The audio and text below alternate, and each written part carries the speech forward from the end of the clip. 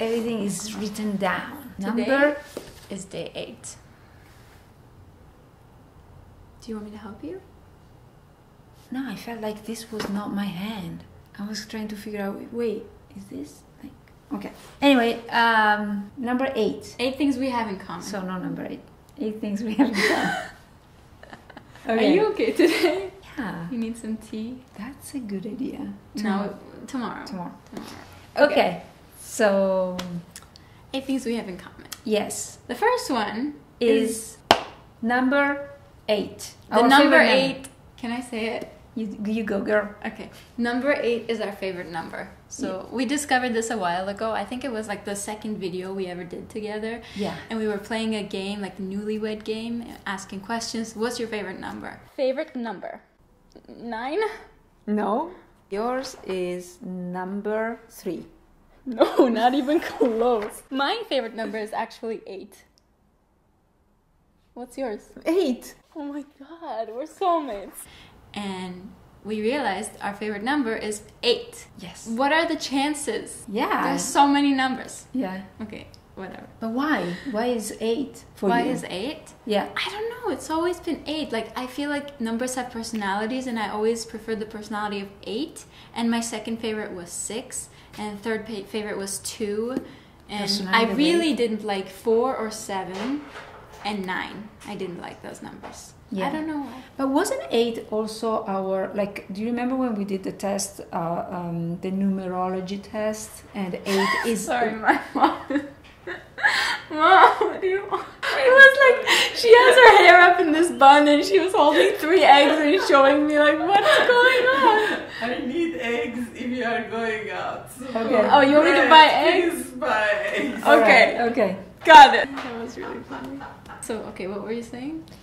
I was saying, oh, number eight. That when we did the numerology test, Uh-huh. number eight was for both of us the same destiny number or something path like number. life path number. That's 10, 11, 1967, 1988. So we do 1 plus 9 plus 8 plus 8. 26. Yeah! My math is still. And then you do 2 plus 6. So we're trying to get to a one digit number. It's eight. 5 plus 6, 2006. So eight. So 2, So we have the same life path number. that's incredible. so eight is not only is our favorite number, but then it turned out our same life path number. Can I say why is my favorite number? Because uh, of the shape. If you turn it, yeah, horizontally, it's the the shape of the infinite. It's a simple Oh, infinite, yeah. you know, hmm and that's why I like I it. thought it was like, you know, boobs and uh, no, You know, it's it a bit could more be. spiritual than that. maybe subconsciously that's why it's our favorite number. You never know. We- Second thing we have. Second thing, we both like long hair. I remember there was uh, one time when a friend of mine convinced me to speak to a psychic lady, and she's she told me there is a girl with short hair who is. Uh, observing you so she's on your path and something and i said no it's not possible I don't like women with short hair. I prefer women with long hair. I'm not saying that I don't like women with short hair because there are out there gorgeous in, in their short hair, okay? But I prefer women with long hair. So for me, it was like, no, wait a second. Short hair? Mm, I don't know about that. But at the time when this lady told me about this girl in the future with short hair, at that time when she told me, Oh, you really had short hair because you showed me the photographs. when I ruined my hair with bleach, I was like, I can't live like this, so I took a razor and I shaved my head. I never had short hair in my life, except for that little period where I had short hair and I met you. And then I took what I shave my legs with, my razor. I took it and I just shaved. I just shaved my head. I was bald. And this is what I looked like. Uh, It wasn't bad, to be honest. I mean, but the growing out process was completely traumatizing. So, number three that we have in common is that we both like warm climates. Mm-hmm. As if it's not obvious at this point, because I feel like every single video we mention either how cold it is or how pale we are. Like, we just need some sunlight. Thank God your hair is like sunlight to me. Uh, what's the next one?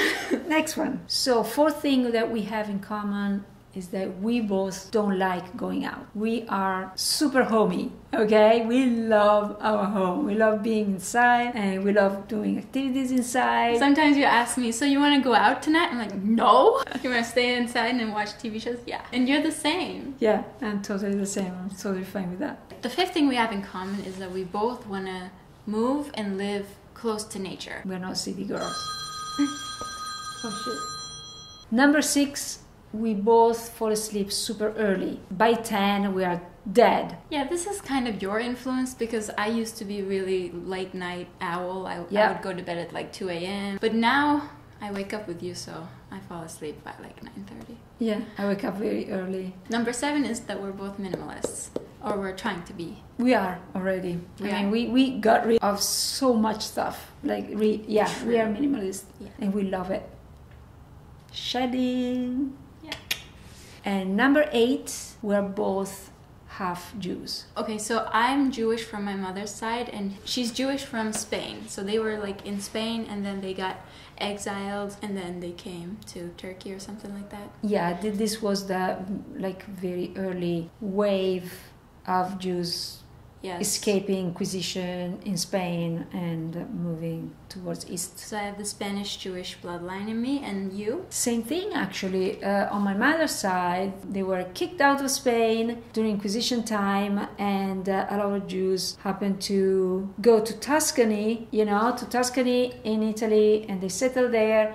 And they changed their last name, so it's a it's a last name of converted Jews, Yeah. and it's Toscano from Tuscany. And then they traveled all the way to Calabria, and there is a lot of Toscano, you know, last name Toscano in Calabria, in southern Italy, and that's from my mom mom's side. So it's possible that our genetic lineage is actually quite close in a way. I yeah. I feel like it would be interesting if we took those DNA tests. I mean, I know you hate them. I hate those DNA tests. It would be interesting to see, like, you know. Yeah, exactly. This is this is the thing, you know. Do you want to give your opinion? I have a yes, I, I I have a friend, and uh, his mom is uh, Swedish. His father is from Spain, and uh, he lives in uh, United States. Okay, and uh, he took the DNA test, and he goes, "Oh my God, I took it. It was amazing, and I discovered that I have uh, Swedish blood, and I also have Spanish blood." And I was like, "Duh!"